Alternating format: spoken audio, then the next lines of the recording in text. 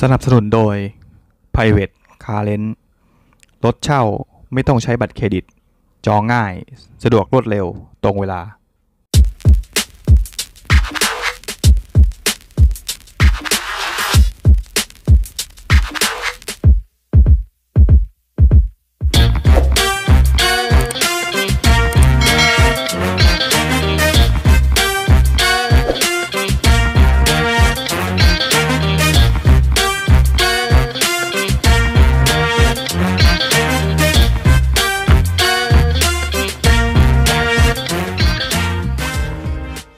Suzuki Ertiga generation ที่ 2 เปิดตัวอย่างเป็นทางการครั้งแรกที่ประเทศอินโดนีเซีย เมื่อเดือนเมษายนปี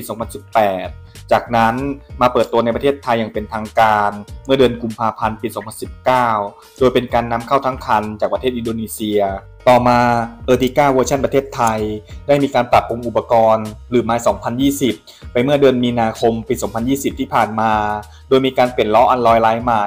ระบบปรับอากาศอัตโนมัติ พร้อมจอแสดงผลดิจิตอล หน้าจอเครื่องเสียง touchscreen 7 นิ้ว พร้อมกล้องมองหลัง และล่าสุด มีข่าวคราวว่า Suzuki ประเทศไทย เตรียมจะเปิดตัว e r t i g a Smart Hybrid ในประเทศไทย ภายในปี 2022 นี้ หลังจากประเทศอินโดนีเซีย และอินเดีย ได้มีการเปิดตัวไปก่อนล่วงหน้าแล้ว โดยไฮไลท์เด็ดคือการปรับขุมพลังเครื่องยนต์เบนซิน 1.5 ลิตร K15B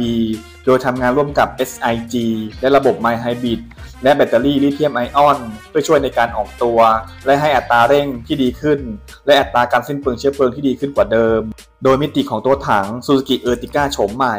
จะมีความยาว 4,395มิลิเมตรกว้าง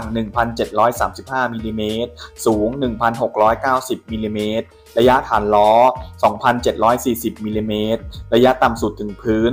180มิลิเมตรมีรัศมีวงเลี้ยว 5.2 เมตร และมีความจุของถังน้ำมันอยู่ที่ 45 ลิตร และไฮไลท์เด่นของ Suzuki Ertiga Smart Hybrid เวอร์ชันอินโดนีเซีย จะมีกระจังหน้าดีไซน์ใหม่ ล้ออัลลอยดีไซน์ใหม่สีทูโทน มาตรวัดดีไซน์ใหม่โทนสีฟ้า หน้าจอแสดงข้อมูลการขับขี่แบบ TFT กุญแจ Smart Keyless Entryตกแต่งด้วยสีฟ้า ระบบควบคุมความเร็วอัตโนมัติคูชคอนโทรลระบบเปิดปิดไฟหน้าแบบอัตโนมัติ กระจกมองข้างแบบพับเก็บอัตโนมัติสัญลักษณ์ไฮบริดที่ฝากระโปรงท้าย ส่วนในด้านขุมพลังของ Suzuki Smart Hybrid จะติดตั้งเครื่องยนต์เบนซิน 4 สูบ รหัส K15B ขนาดเครื่องยนต์ 1.5 ลิตร ให้กำลังสูงสุด 105 แรงม้า แรงบิดสูงสุด 138 นิวตันเมตร ทำงานร่วมกับ SIG แบบระบบ Mild Hybrid และแบตเตอรี่ลิเธียมไอออน ขนาด 6 แอมป์ต่อชั่วโมง 12 โวลต์ โดยส่งกำลังผ่านเกียร์อัตโนมัติ 4 สปีด เหมือนในเวอร์ชันอินโดนีเซีย และ 6 สปีด ในเวอร์ชันอินเดีย ซึ่งมาพร้อมกับ Paddle Shift แบบแป้นเกียร์ที่พวงมาลัย แต่คาดว่าเวอร์ชันประเทศไทย น่าจะอ้างอิงจากเวอร์ชันอินโดนีเซียมากกว่า เพราะนำเข้าจากที่นั่น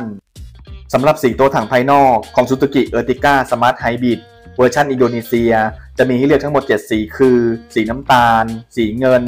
สีม่วง สีแดง สีดำ สีขาวมุก และสีเทาครับสำหรับกำหนดการเปิดตัว Suzuki Ertiga Smart Hybrid ซูซูกิประเทศไทย เตรียมจะเปิดตัวในไทย ภายในปี 2022 นี้ รวมถึงการปรับเพิ่มอุปกรณ์ เพื่อให้สู้กับคู่แข่งในตลาดได้ อย่าง Toyota Veloz Mitsubishi Xpander รวมถึง All New Honda BRV ที่เตรียมจะเปิดตัวในไทยในเร็วนี้ โดยจุดเด่นของ Ertiga คือราคาที่ย่อมเยาวที่สุด ในบรรดารถมินิ MPV แบบ7ที่นั่งในไทยและหากมีข้อมูลเพิ่มเติม ทาง Auto c a r n i v จะรีบนำมาอัปเดตให้ทราบโดยเร็วที่สุดครับ สุดท้ายขอบคุณทุกท่านสำหรับการติดตามรับชมคลิปนี้ ฝากกดไลค์กดแชร์ กด Subscribe เพื่อคุณจะไม่พลาดข่าวสารเกี่ยวกับวงการรถยนต์ ทั้งในและต่างประเทศ อัปเดตที่นี่ก่อนใครกับ Auto c a r n i v ขอบคุณครับ